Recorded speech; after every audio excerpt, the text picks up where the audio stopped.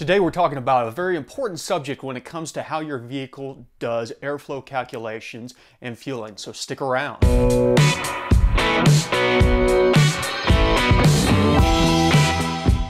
What's going on everybody? Welcome back to the garage and before we dive into dynamic airflow, I wanted to take a second to thank all the new subscribers. If you have not rung the bell down there and click subscribe, do so now. That way you don't miss out on any new content like this to help you in your tuning goals.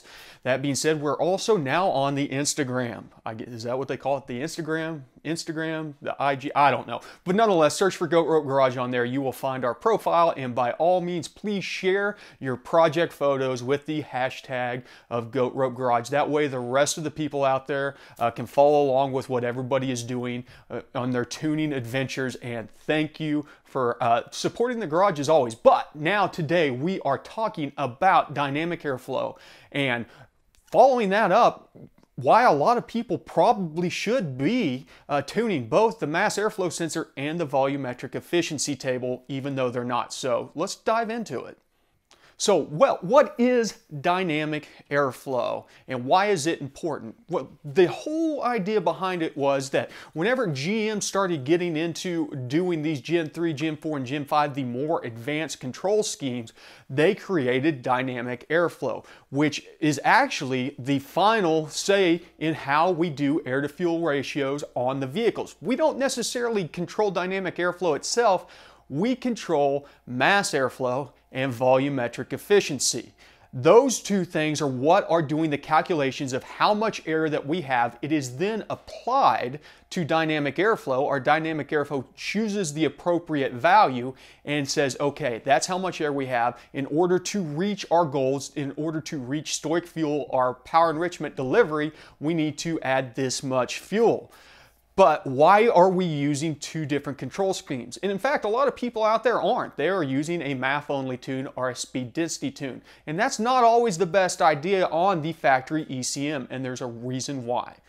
Dynamic airflow does its decision making process based on the kind of power requests that we're making to the engine. So as the throttle position changes or the accelerator position changes, we are shifting between mass airflow and volumetric efficiency.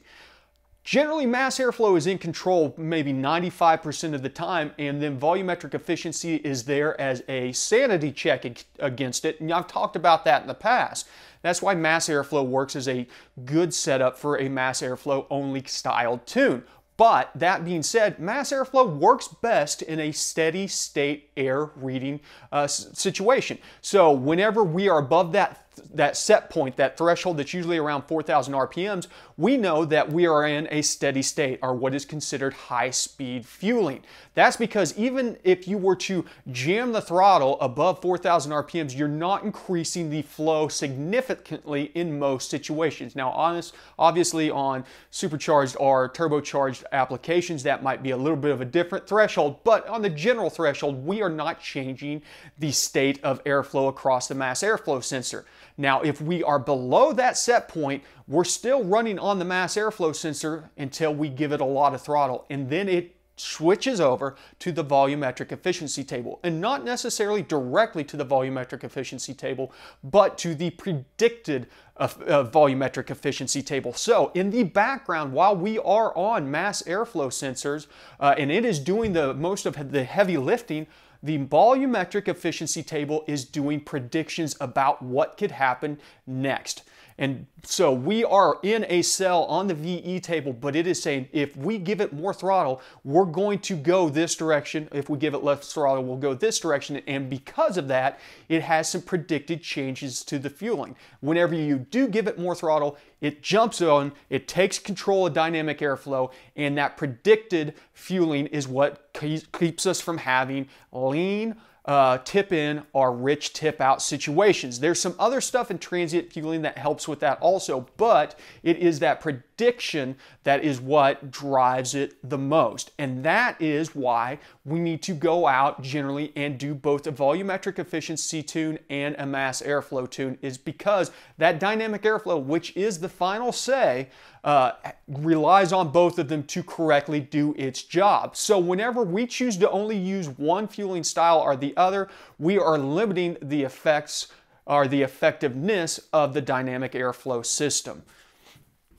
Now, with all that being said, is there anything else that we really need to adjust on dynamic airflow? Not really. You can bring your mass airflow sensor down to take over lower so you don't have as much volumetric efficiency that you're having to deal with because once you get into high speed mode, then you are basically using just the filtered air mass. The other thing to keep in mind is that air mass is filtered, has been filtered since Gen 3, is still filtered on the Gen 5. And that means that the actual reading that is coming from the mass airflow sensor is being smoothed out before dynamic airflow uses it to do the fueling calculations. So that is yet another reason why it struggles during transit. You can make adjustments to that filtering value, I'm not 100% sure how that will change the way that the mass airflow reacts, but if you were to do a mass airflow sensor only tune, it would not probably be a bad idea to go in there and adjust that filtering and try and get more resolution from the mass airflow sensor before it hits the dynamic airflow calculations. Uh, we can also go in and change a bunch of different ways like the hysteresis on RPMs that allows or uh, works on how the volumetric efficiency table responds to throttle input changes to make sure that we're not bouncing around a lot on the table and basically we start filtering the volumetric efficiency also. And all of these are done in the hopes of creating a smooth driving condition whether or not it is from steady state driving or transient driving. We want to try and keep the uh, predictions smooth and not jumping around too much. That being said, there are some situations where you might need to make adjustments there, but 99% of the time you're going to be perfectly fine leaving all of that stuff uh, as it is and just making the adjustments to the tuning schemes of the mass airflow sensor and the volumetric efficiency. And this is a prime example of why I've been down on dyno tuners lately, why I don't approve of their methodologies of going in and doing a mass airflow tune only and not adjusting the volumetric efficiency tables, because they are being used. If a vehicle is to drive properly, it needs to use both tables because that's the way the ECM was designed to operate. Now, there are ways around that that are not going to be the most efficient way of doing it, but we need to, at the end of the day, realize that every vehicle is different, and in order for it to run optimally, we need to work within the systems that we are using. That being said, I'm not going to say that you can't have a MAF only tune or a speed density only tune that doesn't that works. That's not the case. There's a lot of people that are out there doing it, but they also have some situations that they tend to live with that maybe could be solved by allowing the dynamic airflow system to do its job properly. So just keep that in mind next time you're going out doing your own tuning or you're paying somebody else to tune for you and they are not going to do a proper tune on both the mass airflow system and the dynamic or the volumetric efficiency system. So as always, I want to thank everybody for their support, for stopping by the garage, for watching these videos, for liking them. Uh, throwing those thumbs up is the best payment that you can give me. Also, check out the links down in the description. You can get to the goatropegarage.com website where you can find merch, uh, decals, uh, access to the Patreon, which is a great way of getting one-on-one tuning assistance either through email or on video conference calls. It's up to you. Check that out. And then on top of it, as I said, we've got the new Instagram. Make sure you jump out there, check it out. Goat Rope Garage on Instagram. And if you want to quickly share any of these videos, you can share the tuning101.com web address that takes you right to the YouTube Goat Rope Garage landing page. So as always, I want to thank you for stopping by the garage. Remember, ABT, always be tuning.